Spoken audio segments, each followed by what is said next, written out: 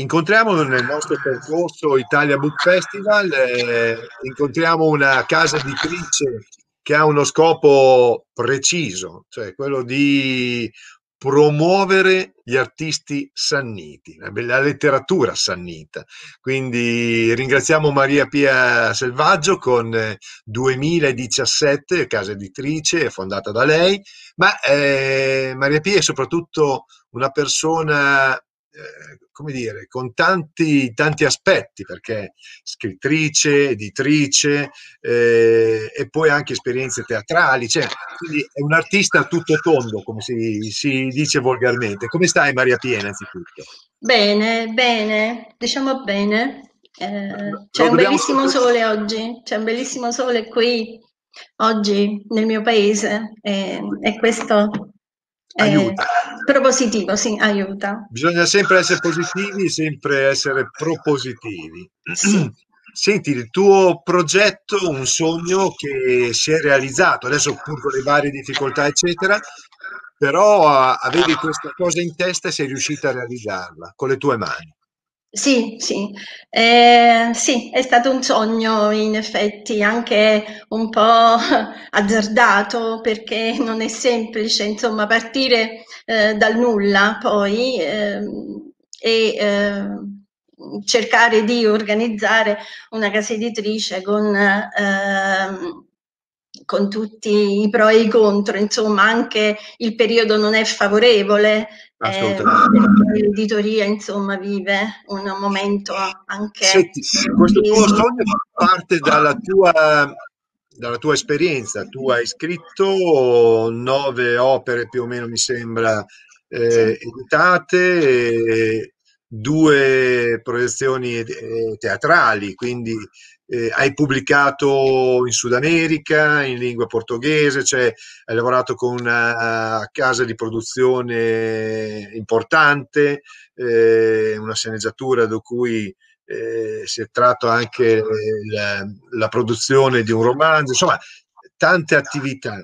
E poi ti sei, eh, ti sei come dire, eh, resa disponibile, perché questo bastava già a far di te una persona di, certa, di, un certo rilievo, con certe responsabilità, eccetera. Però il fatto di diventare editore vuol dire condivisione. Hai voluto sì. mettere eh, a disposizione degli altri eh, la tua esperienza, le tue capacità, stimolando che altri possano scrivere e possano affacciarsi a questo mondo complicato.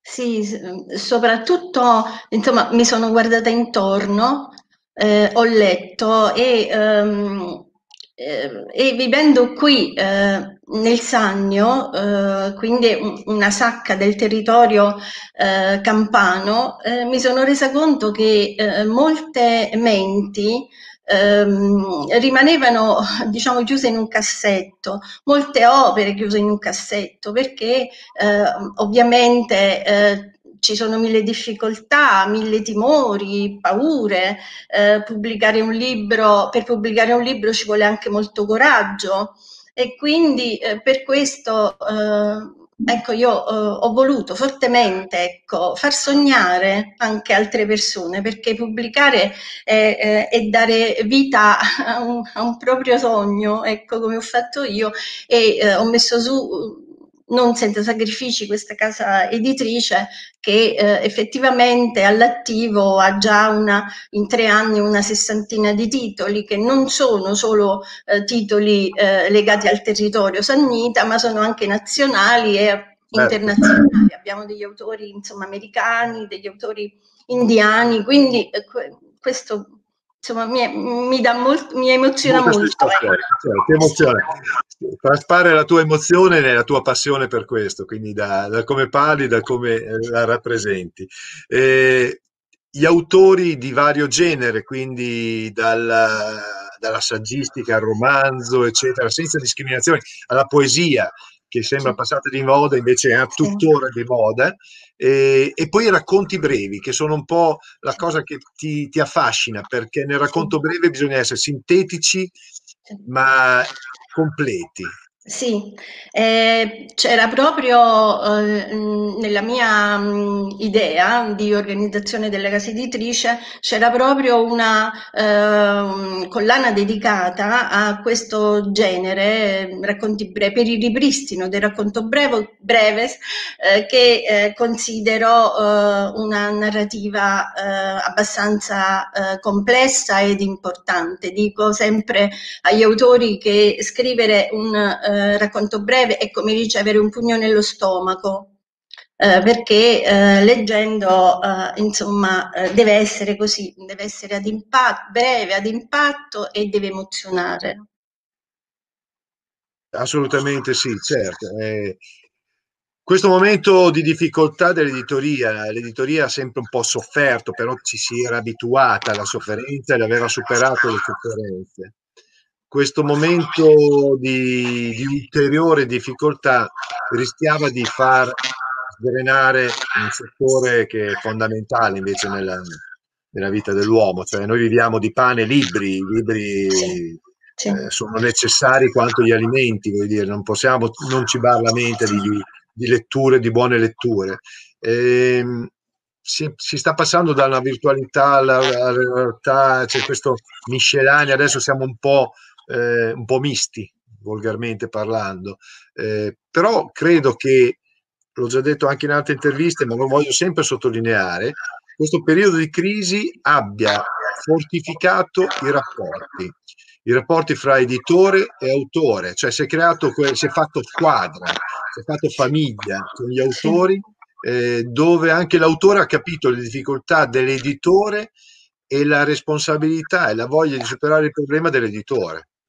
Sì, eh, non è semplice, eh, ovviamente sì, eh, però è vero, c'è stata una fortificazione e eh, nel mio piccolo quello che cerco sempre di far capire eh, agli autori e che dietro ad un libro, dietro all'editoria c'è una squadra eh, che lavora e, e eh, il lavoro di squadra deve essere anche eh, diciamo eh, allargato all'autore. L'autore deve entrare nel lavoro di squadra, si deve rendere conto di che cos'è un, eh, un webmaster, noi ne abbiamo uno in effetti bravissimo, Luigi Morone, di che cos'è una ehm, correzione di bozze, che cos'è un editing, insomma, un cioè c'è tutto un un lavorio. Io questo cerco di eh, trasmettere e di far capire. Eh, l'editoria non, cioè i piccoli editori non si arricchiscono mai perché comunque eh, tante volte si ci eh, rimette, ehm, però ecco è bello, è bello promuovere insieme la cultura, promuovere insieme la lettura che è molto importante eh, per i giovani ma anche per i meno giovani, è, è pane per l'anima così come dicevi tu insomma abbiamo bisogno di questo perché oggi abbiamo... non c'è ecco, una uh, spiritualità eh, che ehm, eh, diciamo che è ehm, delineato, viaggia su tratturi già ehm, organizzati. Ecco, noi abbiamo bisogno di costruircela individualmente questa spiritualità e la lettura eh, aiuta molto. Senti, da, da editrice riesci a essere comunque a continuare la tua passione di autrice?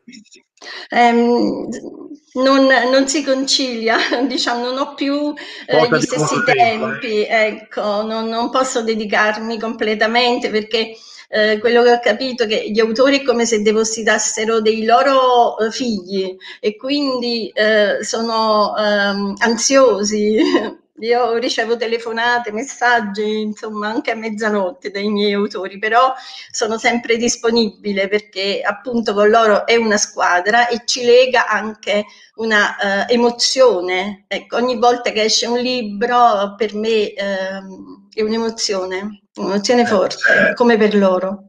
Senti, ci parli del tuo romanzo, visto che rimaniamo anche nel tuo tema come autrice, Il delitto di Via Puccini?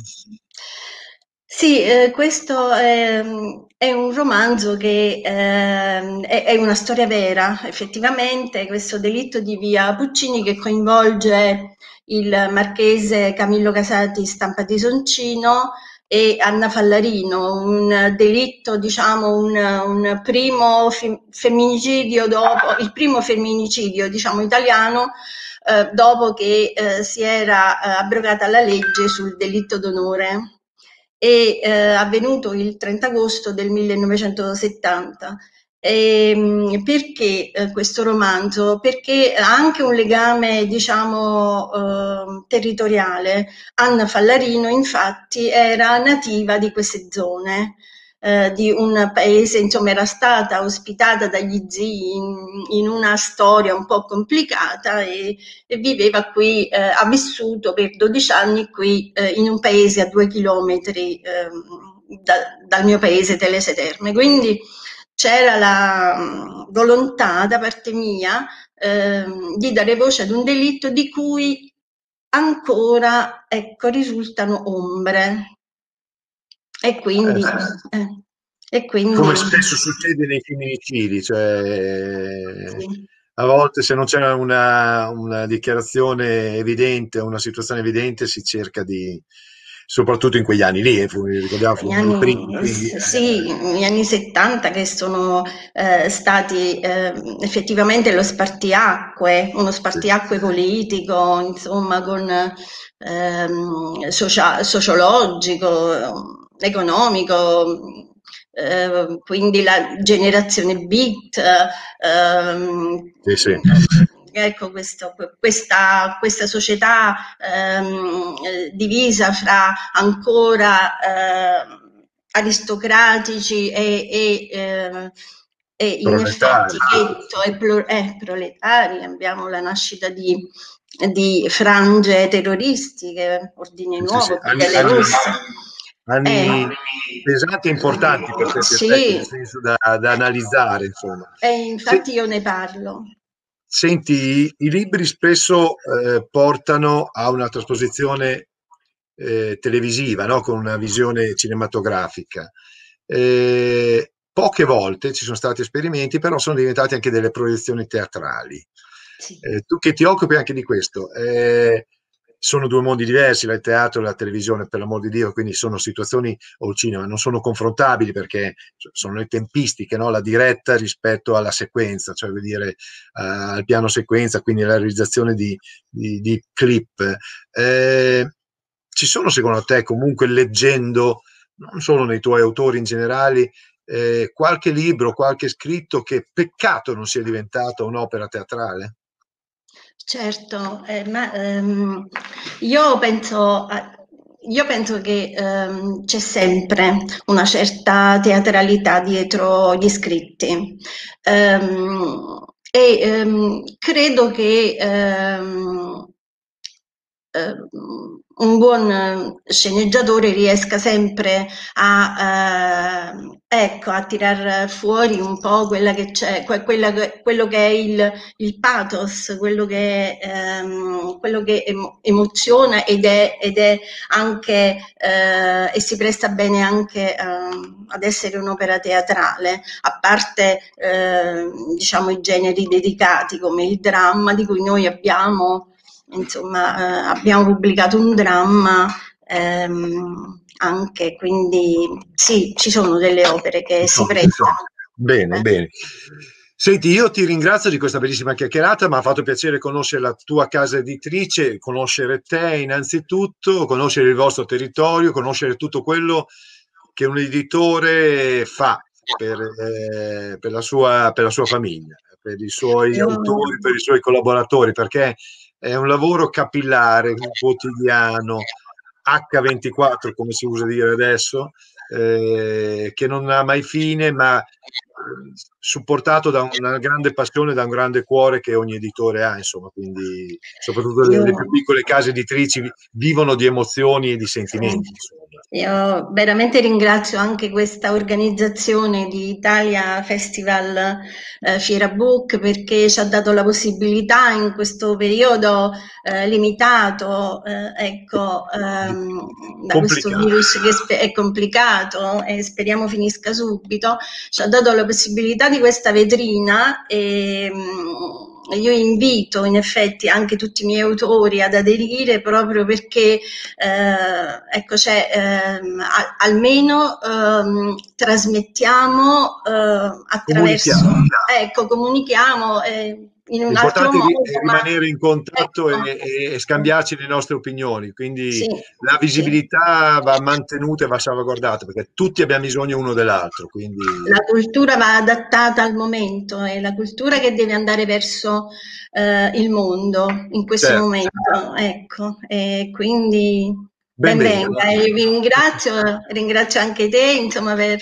sei così professionale e mi hai messo veramente a mio agio, io che sono, insomma, risaputamente timida. Hai, hai superato l'esame, ma l'avevi già superato, l'avevi già superato scrivendo, quello è il coraggio più grande. Grazie, Grazie. davvero, un grande abbraccio e avanti con la lettura e buona lettura avanti. a tutti. Buona lettura, grazie. Un bacio Ciao. a tutti. Ciao. Ciao.